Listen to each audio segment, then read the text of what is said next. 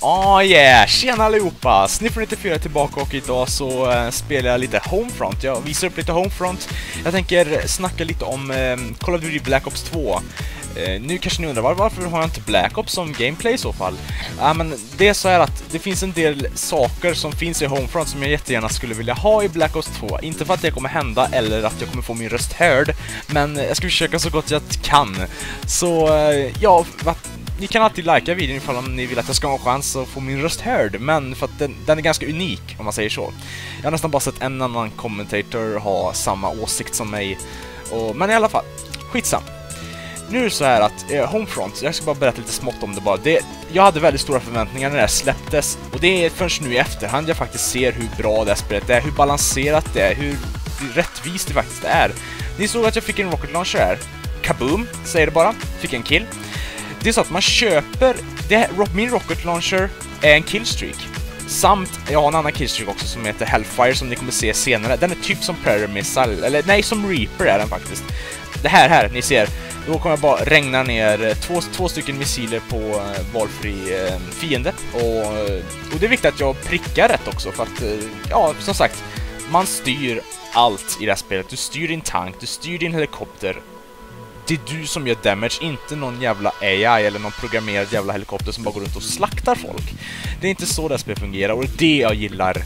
Att ingenting är AI-baserat, ingenting kontrolleras av en bot eller dator utan det är du själv som faktiskt gör skada på fienden. Och eh, det, det, jag vill, det, det jag är besviken på när det kommer till Black Ops 2 och det jag har fattat, det är att man, när, man, när man spanar så börjar man med noll poäng. Och sen när man dödar folk så får man mer poäng så här. Men dör du, så resetas det till noll. Så har jag fattat. Och så är det inte i, i Homefront. Här samlar du massor med poäng och så har du det för all, du har det, du har det hela tiden. Du kan samla massor med poäng tills du känner att ah, men jag vill köpa en helikopter. Oh, den är ganska dyr. Men fan, jag köper den.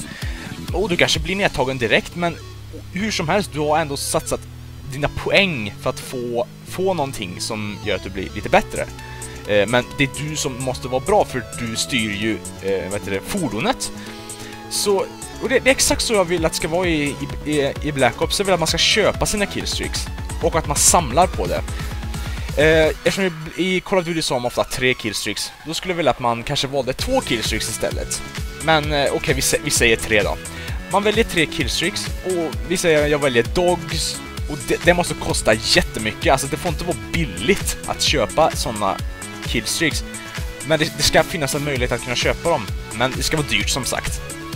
Och UAV kanske är lite billigare. Men som sagt, det, det, är viktigt att eh, det här balanseras ut i valutor och så, så att det inte blir för billigt eller för dyrt. Så, ehm, ja, det, det, det är ett sånt system jag vill ha.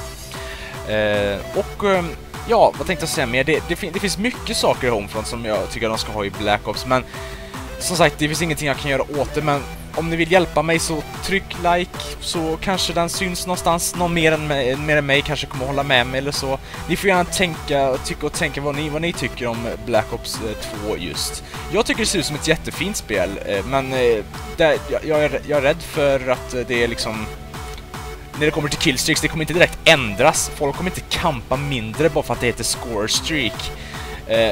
det, det är verkligen bullshit tycker jag det där. Det är riktig bullshit.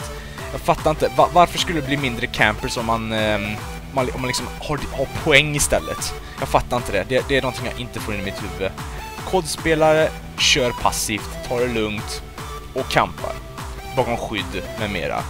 De har ju fixat lite saker, som den här, det där siktet så man kan se genom väggen som en heartbeat sensor fast man ser genom väggarna istället.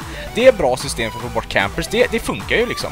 Men eh, när det kommer till score, eller points, ja, score streak, alltså nej, nej, nej, nej. Ha som i Homefront så kommer alla bli glada, lovar jag. Men, eh, ja, som sagt. Och det, en sak som gjorde att Homefront faktiskt failade ganska rejält, det är deras vapenval. Det finns inte särskilt många vapen att välja på i det här spelet. Uh, jag har guldkammo till det här vapnet förresten. Så det är jävligt nice. Uh, och jag det är egentligen allt jag har att säga egentligen. Det är, det är, kul, det är kul att um, ni visar bra support på mina videos. Ni gjorde det på min Battlefield-video. Jag är riktigt glad för det alltså. Som vanligt, jag är alltid lika tacksam för all support jag kan ge. För jag, jag, jag, jag själv ger ju support till andra små YouTubers. Och varför borde inte ni göra detsamma liksom? Mm. Win-a-win situation. Eh, så, men eh, ja, vi hörs.